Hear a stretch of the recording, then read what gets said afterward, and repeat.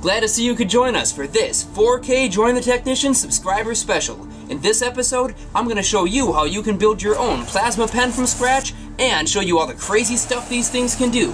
So hang around for the eye candy and learn from the tutorial in this episode. It's like a whole nother world. It's like Alice in Wonderland. Like things literally just shift and morph. Wanna run some uh, footage to the uh, camera? That's so cool. Put them on. Just, just like. Uh, huh. Patrick's polarizer glasses may just get a video of their own. You know, we try to only bring you the coolest gadgets on this channel, and this one here is no exception. So what exactly is this plasma pen? Well, it's a powerful handheld high-frequency electric device that can produce a small flame of plasma at its output electrode. Normally, something like this would require an external power source connected to the pen with a cable, but you can get a lot more energy out of a battery than most people expect, up to 25 watts in this case. This beast effortlessly obliterates all kinds of unexpected things and is just an absolute blast to operate. But before I teach you how to build it, let's watch a montage of destruction and experimentation showing off just what it can do. A metallized foil bag doesn't stand a chance.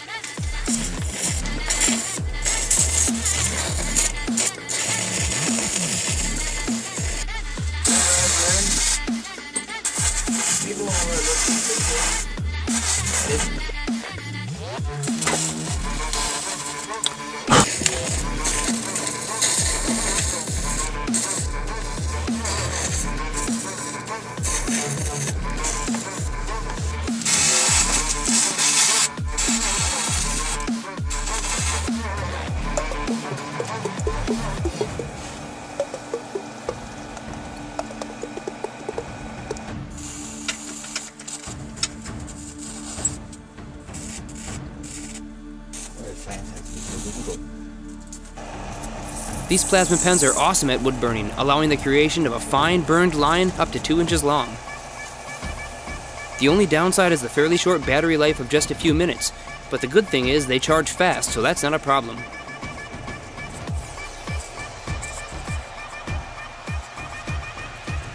Adding a second plasma pen to the mix increases the precision and control and allows for longer arcs to be drawn.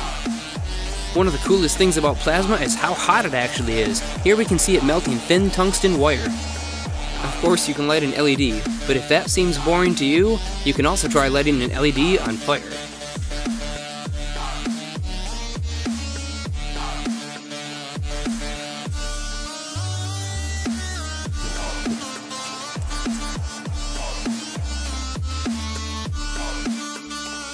You look closely, you can see the ion wind produced by the plasma pen moving the flame around.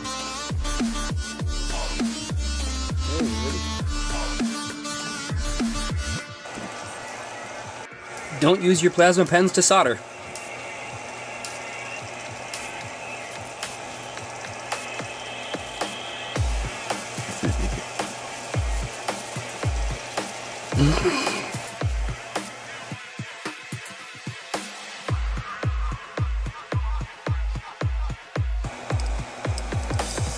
Say we're not wizards.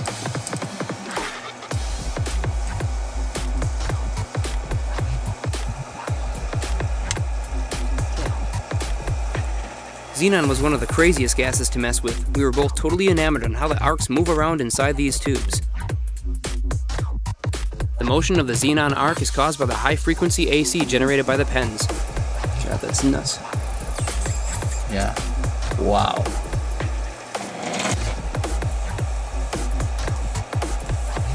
You can also use the plasma pens for Kirlian photography, thanks to their ability to generate plenty of corona under small conductive objects.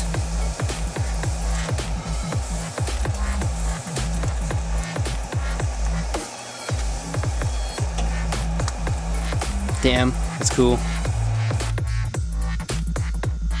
Just pulls it right in, huh? Yeah. When the voltage is high enough, the alternating current field attracts lightweight things like this hanging ribbon of videotape. No doubt these little gadgets are champions at lighting up cold cathode fluorescent lamps. After all, that is the original application their transformers were designed for. And at these power levels, it's pretty surprising to see just how many tubes they can drive at once.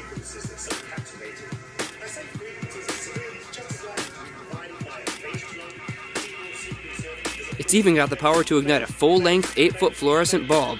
Just ridiculous. Of course, it's not lit to full brightness, but who cares? Look at this thing. God, these things are fantastic. This runtime is insane, though. I can't believe that thing can sit there and maintain that kind of power output. That's it's pretty impressive, really. And of course, we wouldn't have these plasma pens if Patrick hadn't come up with the design first. So let's hear what he has to say. I'm always pursuing a more complex, better version of something. I want to see what can be possible. I love the miniaturization of things, small watches and small other gizmos and stuff. It pushes what we know as a species. And uh, this pushes what I can do, my personal talents, and these are the plasma pens. The first one that I built, Plasma Pen version 1, was awesome, and I built this because the Tesla marker that I built originally just wasn't good enough, which led to the development of Plasma Pen version 2, after Jeremiah built his. Um, it's hard to be outdone, but sometimes you need a nemesis to get there and motivate you, which led to the awesome power in your hand to light up a light bulb and shock yourself while doing it. awesome. I want to give a huge thank you to all 4,000 of you who have subscribed to our growing channel. We love sharing the most innovatively magical projects we can think of with you. Many of you have suggested that we start selling kits, and we'd love to do that. Your support will help make it happen faster. When you choose to donate a few dollars to our channel through PayPal, you provide the equipment and resources needed to create more frequent content and start putting together the project kits you've been asking for. Please invest in us so that we can invest back in you definitely. Donations do help. We need new wire. We need better transformers better parts and of course all the information that we learn will be given to you. Uh, we want to teach the world. We want to see people succeed and see people find curiosity and interest in things that they never thought were possible. And that's what this join the technician channel is all about. And that's amazing. They allow us to explore what electricity does. It's so different like you can see the curvature of the fields with that one as you draw it by. We've never seen anything this small or powerful for sale anywhere, so if you want one, you'll have to build it yourself. The tutorial you're about to see is extremely detailed because we've included the most vital information to help you succeed. Even if you feel unsure about your abilities, don't let it discourage you. I want to encourage you to learn everything you can from this video. We failed several times before we finally got this design working perfectly, and now you're about to learn how to do it yourself. If you like what you've seen and you want your own plasma pen, here's how you can build one. Everything goes on this small circuit board that I'll show you how to make later on. Then you need a power switch, an LED, two low on resistance MOSFETs that are good for at least 10 amps, two high speed diodes, these are 1N4148s, and then a set of capacitors or a single capacitor that's roughly around 1 microfarad. And finally, four fixed resistors between 200 and 400 ohms, they can all be the same value. All these components work to power this CCFL transformer, which is connected to a high voltage output electrode like this one. Then to power the circuit, a small lithium ion or lithium polymer battery works well. We also need an inductor, an optional battery charging circuit, and something to mount the battery charging port inside. In this case, we'll just use the can of a capacitor. To build the plasma pen, you're going to want to start out with a laptop display. You want one of the older ones that's not LED, and when you take it apart, on the bottom strip here, you're going to find a small board like this. Now, these are designed for driving cold cathode fluorescent lamps, and these little transformers on here are the part that you want to focus on. So let's start by removing this one from the board.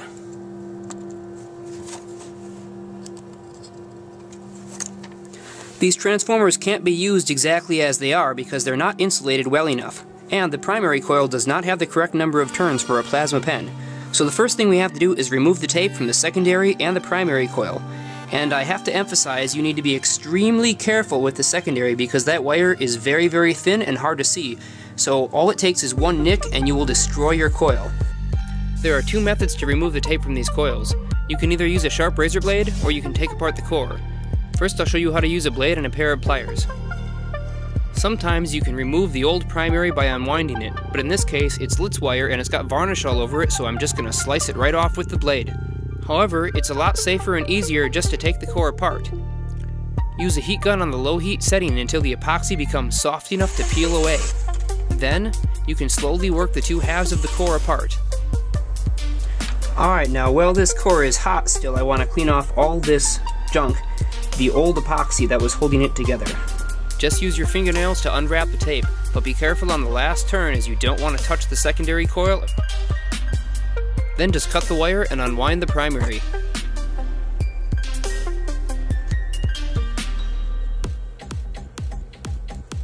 The primary coil can be made of anything as thin as 22 gauge and as thick as 16 gauge.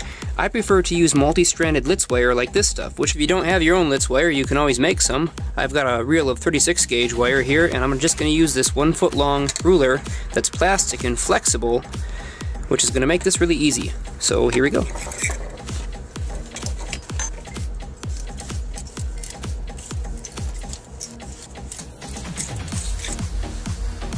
Alright, so that's only 10 times back and forth, and that will be plenty.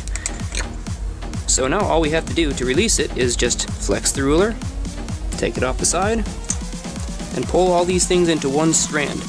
I like to use a power drill to twist these up, but you can also do it by hand, which I'll show you now. And there we go, just enough Litz wire for one transformer. Before winding with the Litz wire we just made, it's going to help to tin the ends,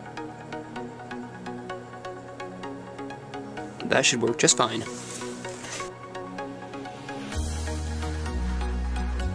That's one primary turn, two, three. Okay, so now I'm at three, and what I'm going to do is make a fold in the middle of this primary coil, bring out some distance and fold it back on itself. This is what we call a center tap.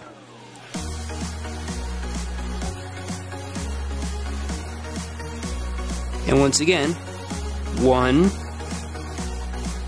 two, gotta make sure those windings stay nice and tight. And on three, now I'm to bring that down, and that's the final turn. A little more super glue will help keep it in place.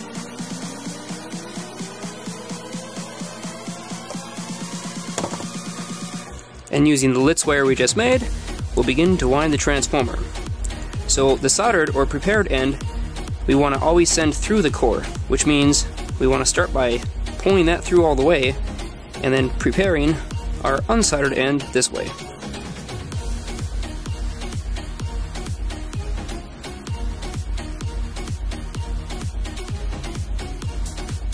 So now I'm going to bring this wire out, fold it in half, and then continue winding.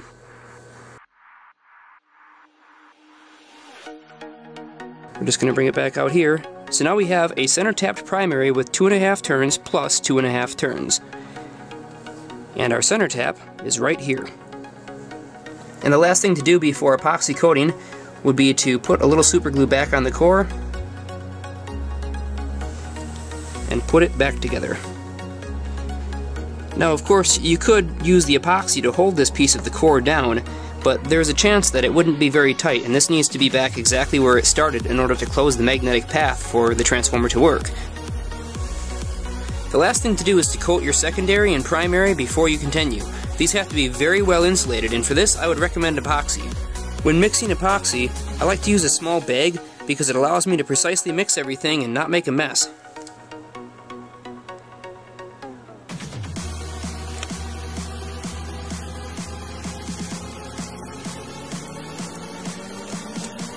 Once the epoxy is thoroughly mixed, cut a small slice in the corner, and you can begin to apply. Start with the area that's going to take the longest for the epoxy to flow into. This is a really good sign, I want to point this out, because we can see that the epoxy is coming through the other side of the core, which tells us we have a full coverage between the wire and the ferrite itself. It's very important to make sure that there is no bubbles between these coils and the ferrite core, otherwise it will certainly arc. And now for those to cure. Once the epoxy is fully cured, it should be pretty easy to remove the transformers. Even if they're stuck, that's okay, you can always just cut them out with the scissors and remove the rest of the material. Okay, that looks really good. For the case and the battery, I ended up using an electronic cigarette, which are pretty commonly available here in the US. Avoid electronic cigarettes with stainless steel cases like this one. Try to find plastic cases like this, this, or this. This happens to have nicotine in it, which we don't want to get on our hands. So for this, I'm just going to use a wooden rod to push everything out one side.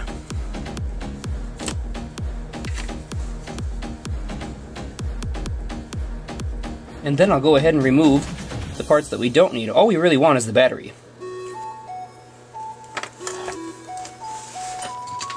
Then rinse the plastic tube out with some water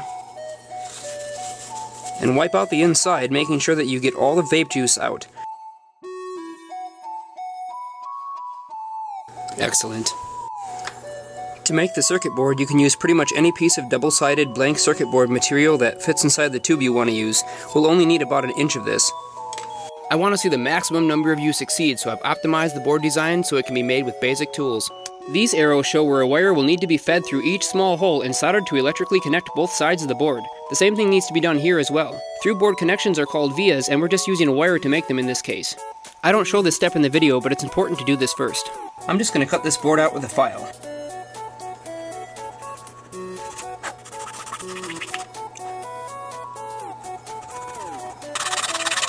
These two notches I'm filing into the side of the board will make space for the diodes later on. I'd highly recommend using some tinning flux and solder to prepare all your connections. This makes everything so much easier to put together.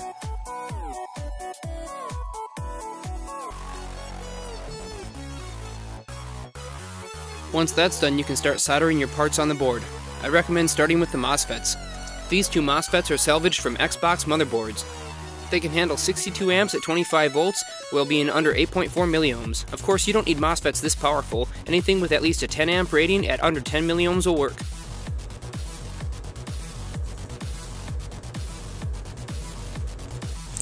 These diodes are 1N4148s. They can be any high-speed diode that's good for at least 25 volts at at least 300 milliamps. The first diode goes here. It connects the gate of the back MOSFET to the drain of the front MOSFET. The second diode goes here. It's a little hard to see, but I'm fitting these diodes right into the notches cut into the circuit board. Each diode connects the gate of the MOSFET on one side to the drain of the MOSFET on the other. I couldn't get a clear shot demonstrating the rest of the components being put on the board, so I've just assembled everything else off camera. You can refer to the diagram to see where everything goes. Here's how the rest of the components go on the board. These two are the pull-up resistors for the MOSFET gates. Here's the discharge resistor for the MOSFET gates. This last resistor drops voltage for the LED. Here's where the switch goes. These four non-polarized capacitors all get wired in series, which requires the use of a jumper between the two sides of the board. Here are the remaining connections in case there is any confusion, and here's the power wire connections and transformer wiring.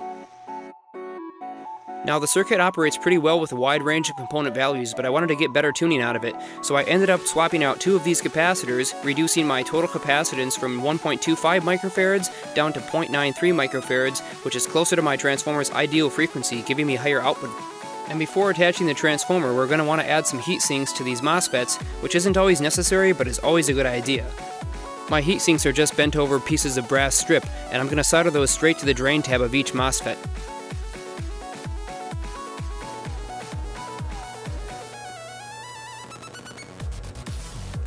Now is also the perfect time to attach the power wires. The negative power wire can be soldered directly to the source tab of either MOSFET since both source tabs are connected. This short red piece of wire connects the battery's positive terminal to the positive input of the board. Off camera, I've taken some time to prepare my transformer. I isolated the ground of the secondary coil and attached it to this wire. It's not necessary to do this, but I wanted to do it for experimentation later on. I've also sliced down the two ends of my primary coil and added extension wires to both ends, and I've tinned the center tap and attached it to an inductor that I wound earlier. At this point we're ready to attach this transformer and inductor to our driving circuit board. The inductor is electrically connected to the same pad the positive wire goes to. Then the two transformers' primary wires go to the drain tabs of each MOSFET, same place the heat sinks are connected to. At this point, it would be the best idea to connect it to a power supply and test it, but I'm pretty confident I got it right, so I'm just going to wire it straight to the battery. Since the battery's positive terminal is closest to the board, we'll start with that wire.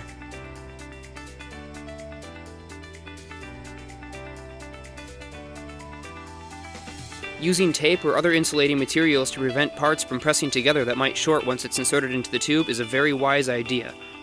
Before sliding the whole thing into the tube, I've also connected the negative power wire, but it's a better idea to connect the negative power wire after the circuit's in the housing so you're not working with it live. This piece of copper tape has a hole cut in the back so we can still see the LED illuminate when the system is on. It serves to connect the transformer's ground terminal to the operator so that a single wire output plasma can be achieved. Here I've just tucked the wire directly underneath that piece of copper, and then I'm going to use a small tool to press the copper down tightly against the case.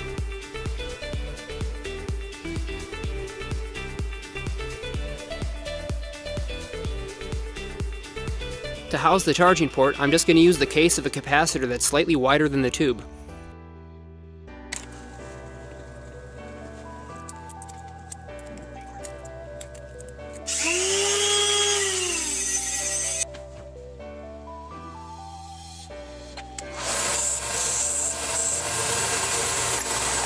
Using a vise will definitely make it easier to cut the porthole in this capacitor case.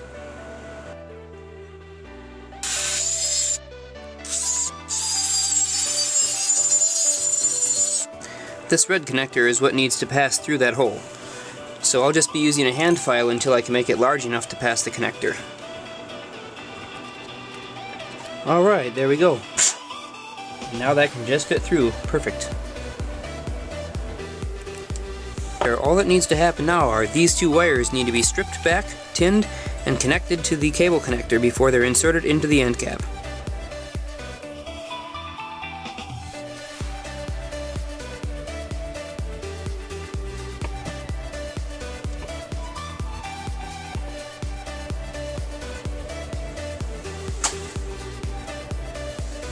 Double check to make sure the port lines up with the hole that you made earlier before gluing it in place. Then some gel superglue can be used to keep the connector against the inside of the aluminum can. Also coat those solder connections with some superglue to keep them from shorting out against the inside of the aluminum can. Apply a bead of adhesive around the outside of the tube and push the end cap into place. And finally, it's time to test our creation. Let's see if it will melt some thin magnet wire.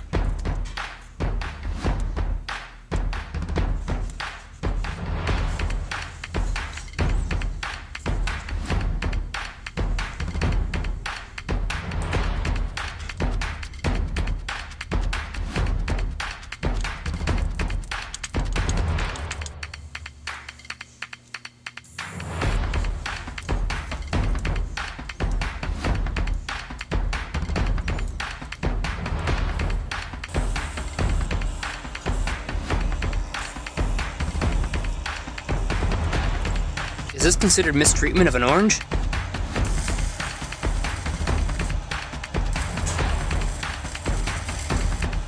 Smells like citrus. Ooh, critical hit. Coffee, creamer. Probably not the best way to mix, but it's uh, it's definitely an interesting way. Oh, I didn't expect that to happen. smells like marshmallows, honestly, but I really don't want to drink that.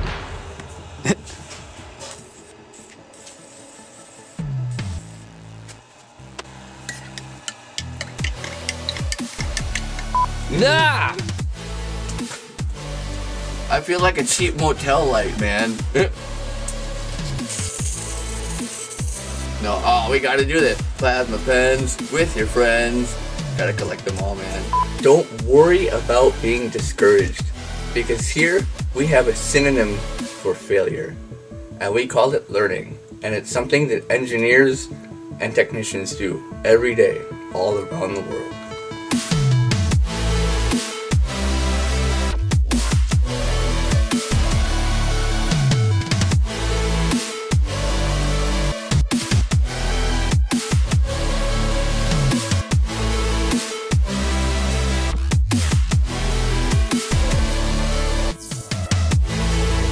Did you like the video? Did you learn something? If you want to see more of your friends getting motivated by projects like this, send them this video. And if you want to see more content like this from our channel, don't forget to subscribe and turn on your notifications to see when we produce new content. And hey, if you have questions about the projects we post, you can contact me or Patrick directly or any of the other technicians on our Join the Technicians Facebook page. You can find links to all those things in the description below.